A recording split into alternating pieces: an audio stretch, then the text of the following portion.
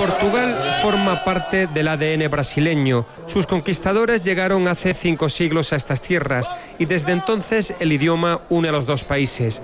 La derrota de la selección portuguesa frente a la disciplina alemana se vivió con decepción por la numerosa comunidad lusa, platos de bacalao típicos y músicas tradicionales para ahuyentar el mal de ojo.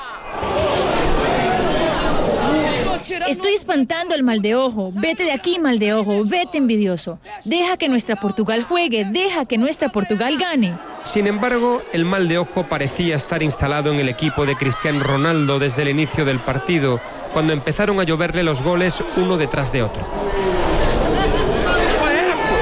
Llega el minuto 45 y resulta inevitable hacer un primer pronóstico pesimista. Algunas decisiones polémicas del árbitro, Portugal estaba jugando bien al principio y ahora tiene más dificultad con este 3 a 0, pero vamos a continuar animando porque la esperanza es lo último que muere. Está todo mal, Portugal tiene que ganar con goles de Cristiano Ronaldo.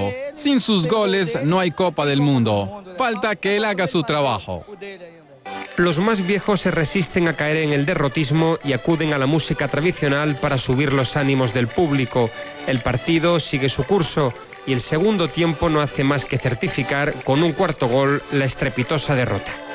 La de Portugal es una bandera importantísima en la historia de Brasil y de hecho aún son muchos los emigrantes de este país presentes en Río y en otras ciudades de este país. Por eso, cuando juega la selección de Paulo Bento, la afluencia y la atención es masiva, como en este centro comercial de la zona norte de Río, donde la derrota portuguesa de hoy se ha sufrido más que en cualquier otro lugar.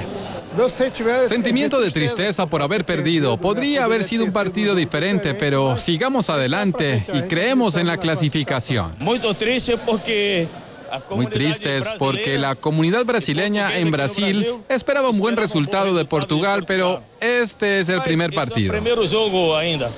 Se trata de un fatídico arranque para la selección portuguesa y sus compatriotas, una derrota vivida además en tierra brasileña, donde muchos soñaban con una final Brasil-Portugal.